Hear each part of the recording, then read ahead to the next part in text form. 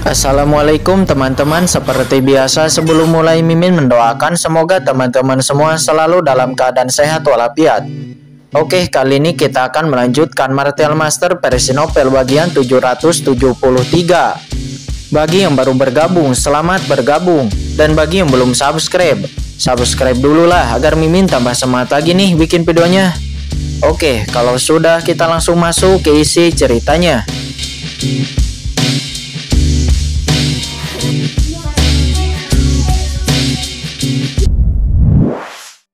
ini bisa mengguncangnya menjadi debu.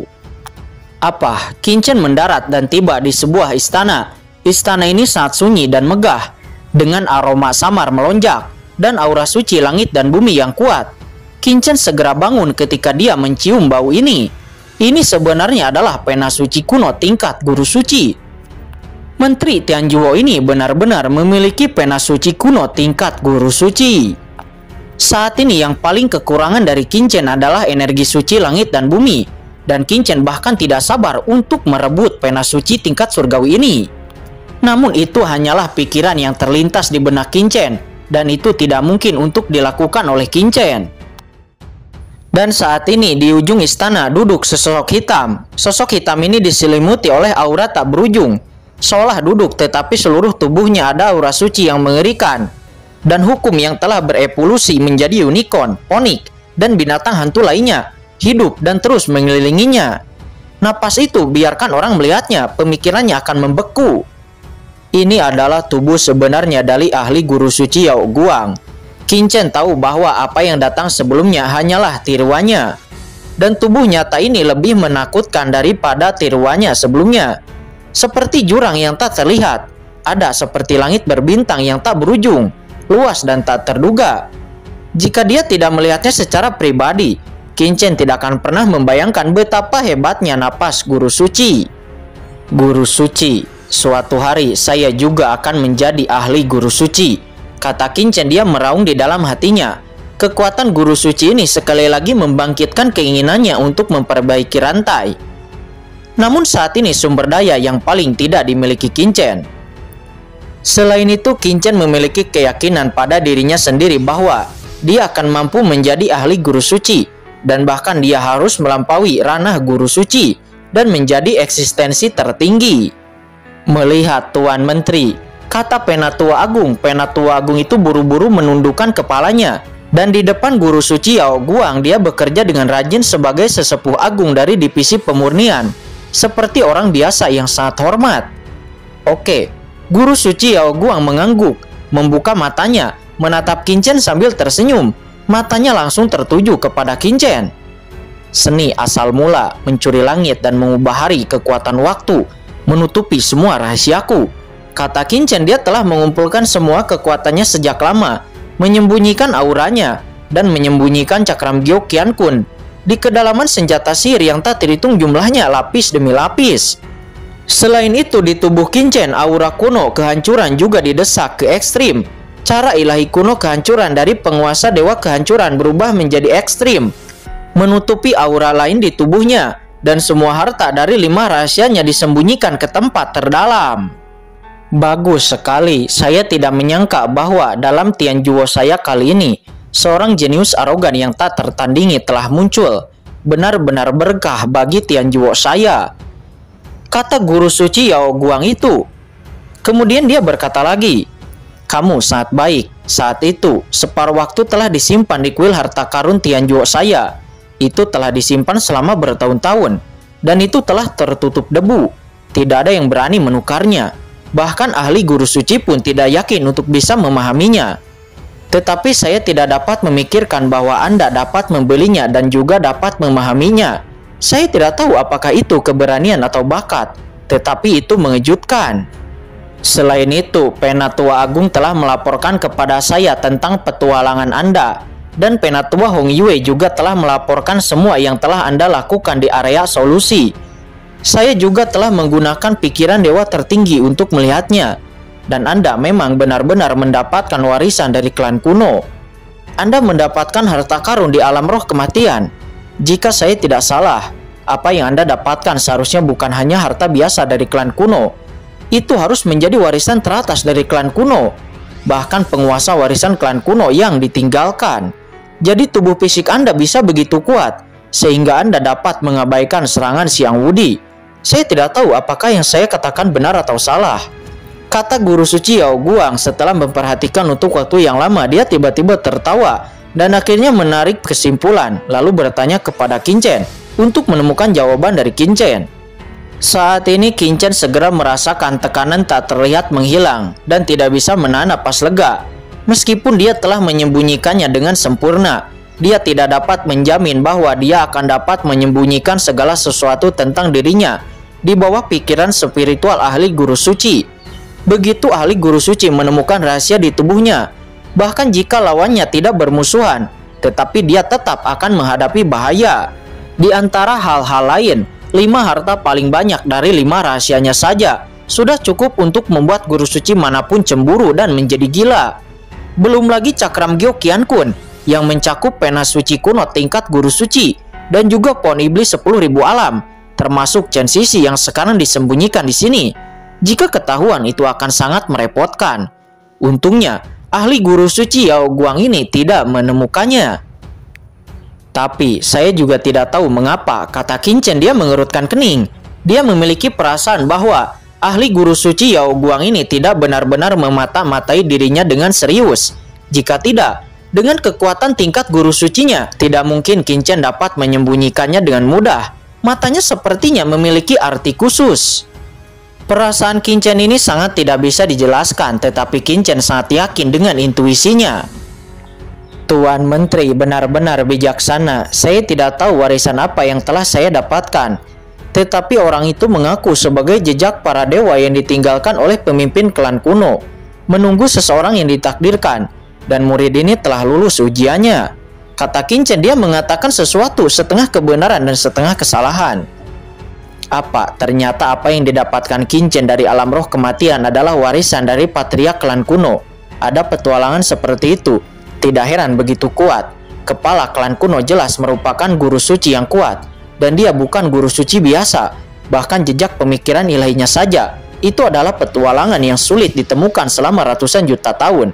Apakah Kincen ini benar-benar memperolehnya? Gumam Penatua Agung dia akhirnya mengerti mengapa Kincen begitu kuat. Awalnya dia mengira Kincen hanya mendapatkan warisan biasa dari klan kuno. Tetapi dia tidak menyangka bahwa yang Kincen peroleh ternyata adalah warisan dari patriark klan kuno. Petualangan semacam itu, bahkan puncak tapair suci surgawi akan cemburu dan tamak. Ternyata benar, guru suci Yao Guang menghela napas panjang. Klan kuno kehancuran dapat dianggap sebagai ras yang cukup kuat di zaman kuno. Dan patriark kuno kehancuran adalah orang kuat yang terkenal di surga kuno. Tak terduga itu akan musnah dalam sungai panjang sejarah di tahun-tahun yang luas itu telah berubah menjadi abu. Orang-orang kuat ini bahkan dikagumi oleh guru suci selama bertahun-tahun yang tak terhitung jumlahnya. Saya tidak tahu berapa banyak orang yang telah membobol rentuan kuno yang sunyi, ingin mendapatkan warisan dari klan kuno kehancuran ini, namun tidak terduga bahwa itu akan jatuh kepada Anda. Guru suci Yao Guang itu melirik Kincen dalam-dalam dan kemudian berkata kepada Penatua Agung, Penatua Agung, Kincen telah menerima warisan dari penguasa kehancuran dan hanya Anda dan saya yang tahu tentang berita ini. Berita ini harus diblokir dan tidak boleh membiarkan orang lain tahu, karena jika tidak akan banyak orang yang akan menargetkan Kincen. Ya, baik Tuan Menteri, kata Penatua Agung dia buru-buru berkata dengan hormat. Terima kasih Tuan Menteri, kata Kincen dia juga berkata dengan penuh terima kasih. Tidak apa-apa, kamu adalah muridku dari Tianjuo dan Tianjuo secara alami ingin melindungi keselamatanmu. Guru suci Yao Guang tersenyum. Namun saya melihat aura di tubuh Anda. Pedang melonjak ke langit. Dan pedang pembunuh juga penghancur yang Anda gunakan. Juga dengan rasa perubahan kuno melawan langit. Jika saya menebaknya dengan benar, apa yang kamu dapatkan di alam roh kematian bukan hanya warisan dari master kuno, tetapi juga warisan dari master pedang tertentu kan? Kata ahli guru suci Yao Guang itu dia berkata sambil tersenyum apa Kincen juga mendapatkan warisan dari Master Pedang.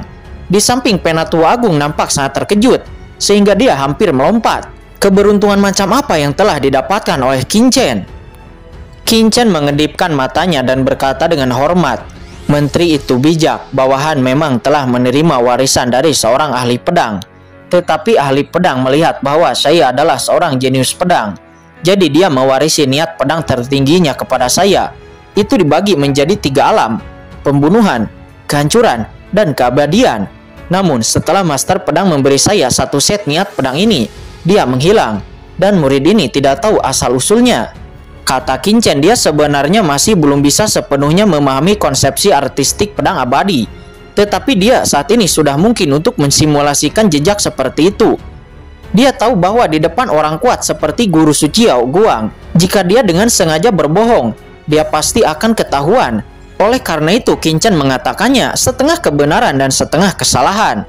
Benar, 80% benar dan 20% salah. Kincen sebenarnya tidak mempercayai ahli guru suci Yao Guang ini. Tetapi warisan yang dia dapatkan itu terlalu buruk baginya. Jika dia benar-benar mengatakan semuanya, ahli guru suci ini pasti tergoda. Dan dia tidak berani mempertaruhkan takdirnya kepada hati nurani guru suci Yao Guang ini. Benar saja, mendengar kata-kata Kincen, wajah guru suci Yao Guang itu tiba-tiba berubah. Niat pedang abadi, sebenarnya niat pedang legendaris ini niat pedang tertinggi dari Papiliun Pedang Tongtian, tanah suci ilmu pedang surgawi kuno. Apakah master pedang itu bernama Master Pedang Abadi? Ya, sepertinya itu namanya, kata Kincen dia berpikir sejenak. Benar saja, itu dia. Guru suci Yao Guang menghela napas dalam. Master Pedang Abadi itu adalah arogan teratas di tanah suci pedang surgawi dari pendekar pedang surgawi kuno. Dan dia bahkan adalah karakter yang diharapkan mewarisi Papiliun Pedang Surgawi. Namun saya tidak menyangka Master Pedang Abadi akan jatuh ke dalam kematian. Apakah ada hubungan antara Master Pedang Abadi dan Dewa Kehancuran? Atau apakah keduanya saling membunuh?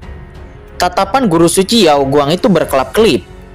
Ini juga kesempatanmu. Master Pedang Abadi adalah karakter yang bisa mencapai langit. Bahkan jika dia telah jatuh, batasan di bawah pengaturannya bisa membunuhku. Tetapi aku tidak berharap untuk memilihmu. Petualanganmu ini bisa dibilang mengejutkan. Guru suci Yao Guang itu menggelengkan kepalanya. Warisan dari pedang abadi ini mulai sekarang. Anda tidak boleh membicarakannya lagi. Karena jika tidak, master pedang yang tak terhitung jumlahnya di surga akan mendatangi Anda. Kata guru suci Yao Guang. Yah baik, murid mengerti, kata Kincen seraya menundukkan kepalanya kamu adalah murid Tian Jiwo dan kamu dapat dianggap sebagai murid guru suci ini. Kamu tidak perlu terlalu berhati-hati. Oke, Penatua Agung bawa dia keluar. Ingatlah untuk pergi ke aula sumber daya untuk mendapatkan tiga pena suci kuno surgawi kelas menengah. Sebagai hadiah untuk memperbaiki rantai untuk Kincen, kata guru suci Yao Guang itu. Terima kasih Tuan Menteri, kata Kincen dengan penuh terima kasih. Dia sangat bersemangat Tiga pena suci kuno surgawi kelas menengah dapat sangat berguna baginya, dan Chen Sisi serta Kau Qingling juga yang lainnya sangat membutuhkannya. Tidak perlu berterima kasih, Anda dapat memenangkan kemuliaan untuk Tian Juo di rumah Guanghan di persidangan berikutnya. Itu akan sangat membantu. Jangan bicara tentang pena suci kuno surgawi kelas menengah. Bahkan pena suci kuno surgawi kelas akhir saya mungkin juga bisa memberikannya, namun dengan catatan Anda harus memberikan banyak kontribusi untuk Tianjiwo. Tentu saja, saya dapat memberi Anda banyak hadiah. Kata guru suci Yao Guang, dia berkata dengan ringan. Ya, murid ini mengingat ajaran dari menteri. Tetapi murid ini memiliki satu permintaan lagi, kata Kincen dengan tiba-tiba. Oh, apa permintaanmu? Kata guru suci Yao Guang seraya menoleh. Murid ini memiliki dua teman yang telah berpisah di rumah Guang Han. Setelah bertanya, murid ini telah menerima berita bahwa dua teman murid ini telah diangkat menjadi murid retret dari penguasa rumah Guang Han. Murid ini ingin meminta Tuan Menteri untuk mengirimkan informasi ke istana rumah Guang Han agar murid ini dapat melihat kedua teman, kata Kincen. Dua teman menjadi murid retret dari penguasa rumah Guang Han. Guru suci Yao Guang nampak mengungkapkan ekspresi penasaran dalam suaranya. Penguasa istana Guanghan hanya akan merekrut murid perempuan. Kedua teman yang Anda sebutkan seharusnya menjadi orang kepercayaan Anda, bukan? Tetapi saya tidak menyangka dua teman Anda akan diangkat sebagai murid tertutup dari penguasa Gumah Guanghan. Masalah ini sangat sulit bagi Anda, tetapi bukan tidak mungkin. Guru suci Yao Guang itu nampak sedikit tersenyum. Tuan penguasa Guang Han memiliki temperamen yang buruk, dan ketika dia marah, dia bahkan tidak akan menjual wajah guru suci. Jika ada hal lain, lebih baik dikatakan. Tetapi Anda, jika hanya ingin melihat kedua teman Anda, guru suci ini dapat membantu Anda. Akan tetapi sekarang Anda bisa kembali terlebih dahulu, karena guru suci ini masih memiliki beberapa hal untuk ditangani. Tiga hari kemudian, guru suci ini akan membawa Anda ke rumah mansion Guanghan. Kalau begitu, terima kasih Menteri, kata Chen dia nampak sangat gembira, meskipun kedengarannya sangat sulit. Selama Menteri Tianjuo turun tangan, selama Menteri Tianjuo membawa dirinya ke rumah mansion Guanghan, mungkin Chen bisa melihat Qiansu dan Jiruyu. Jika Chen dapat melihat Yu Qiansu dan Jiruyu aman dan baik-baik saja, dia akan merasa lega. Adapun hal-hal lain, jika penguasa istana rumah mansion Guanghan itu masih tetap ingin menahan Yu Qiansu dan Jiruyu, Chen juga akan membuat pihak lain menyesali keputusannya. Kalian bisa pergi, Guru suci Yao Guang melambaikan tangannya dan tiba-tiba cahaya pelangi yang terang muncul dan berubah menjadi jembatan mengirim Kincen dan Penatua Agung keluar. Setelah Penatua Agung dan Kincen keluar, mata ahli guru suci Yao Guang itu tiba-tiba menjadi tajam melihat ke arah perginya Kincen dengan serius. Selain napas dewa kehancuran dan master pedang abadi, tampaknya ada aura kuat yang tersembunyi di dalam diri anak ini apalagi ada banyak kabut di tubuhnya dan pasti ada rahasianya. Guru suci Yao Guang itu bergumam. Yang paling penting adalah putra ini benar-benar mendapat perhatian besar dari markas. Dan ada perintah misterius dari tingkat tertinggi markas. Hanya yang teratas di markas yang memenuhi syarat untuk meneruskan pesan ini.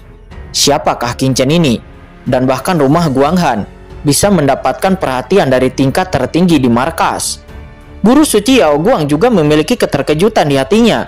Dia samar-samar merasa apakah dia bisa kembali ke markas besar Tianju atau tidak. Namun dia memiliki perasaan mungkin Chen adalah kunci yang sangat penting. Karena itulah dia tidak menggunakan kekuatan magisnya sebelumnya. Dan dia tidak memata-matai Chen secara agresif. Karena ada perhatian besar dari kantor pusat tingkat tinggi, maka identitas Chen secara alami tidak akan menjadi masalah. Putra ini siapa itu? Guru suci Yao Guang bergumam, dan kemudian seluruh sosoknya telah menghilang ke kedalaman istana surgawi.